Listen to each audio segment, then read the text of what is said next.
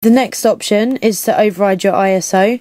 Quite similar to how we do a couple of the other ones. The value factor does it by times by 1, times by 10, times by 100.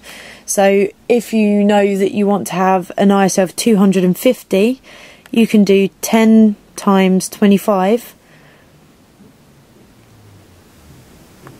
and that will give you a 250 ISO if you just have a look here you'll see up the top here when it focuses you've got a 250 ISO so yeah overriding the ISO is actually one of the easier options. If you knew that you wanted a really high ISO you could do you see I've just times it by 100 so that should be a 2500 ISO which will be pretty grainy but if that's what you want that's what you can get.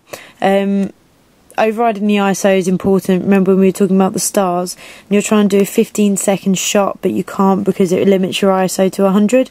Well here you can override it.